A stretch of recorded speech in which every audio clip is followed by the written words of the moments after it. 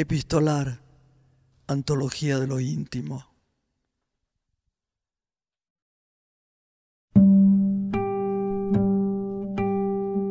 Alguna vez Octavio Paz dijo, los mexicanos descienden de los aztecas, los peruanos de los incas y los argentinos de los barcos. Ese dicho tiene una razón. Desde 1870 hasta los años de la Primera Guerra Mundial, Argentina recibió un enorme flujo de inmigrantes europeos. Sin embargo, la frase no deja de ser inexacta. Nuestro país es mucho más complejo que esos relatos construidos y está lleno de voces que fueron históricamente silenciadas. De todas formas, y hecha esta aclaración, esta carta es una historia de barcos y de personas.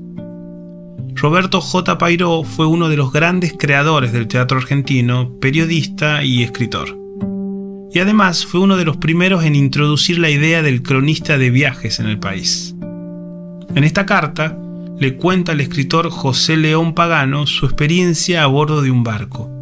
Pero no cualquier barco, sino uno en el que se viajaba en condiciones miserables y que trasladaba a inmigrantes europeos que llegaban a la Argentina a principios del siglo XX lee el actor y director Mauricio Dayub.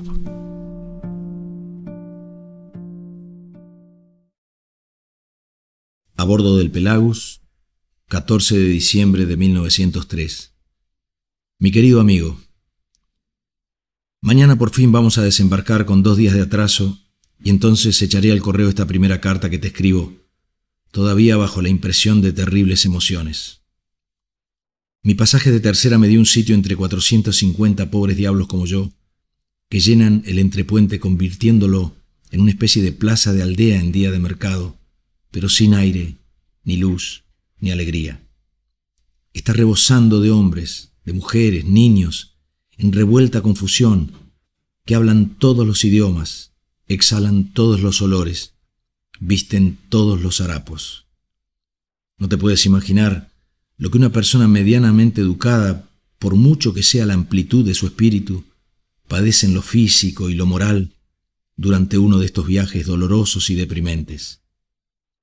Mis compañeros mismos, aunque en su mayoría hechos a la miseria, se sienten rebajados de su dignidad de hombres y se rebelan instintiva e inconscientemente contra ello, manifestando la protesta con su irritabilidad y mal humor. Considérame en este hacinamiento humano, entre una multitud de mareados que en un principio aumentaban minuto por minuto, con las apreturas, la falta de aire, el hedor, el contagio inevitable por la excitación y luego la depresión de los nervios.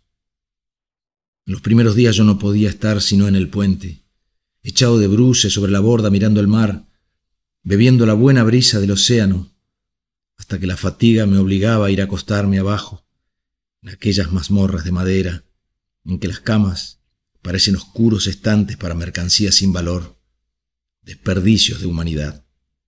Mis pobres compañeros, anónimas reces de aquel rebaño encajonado, sufrían también, y en medio de la noche, entre ronquidos y respiraciones anhelosas, se escuchaban pasajeros sofocados, ruegos, alguna imprecación y algún lejano juramento. Roberto J. Pairó.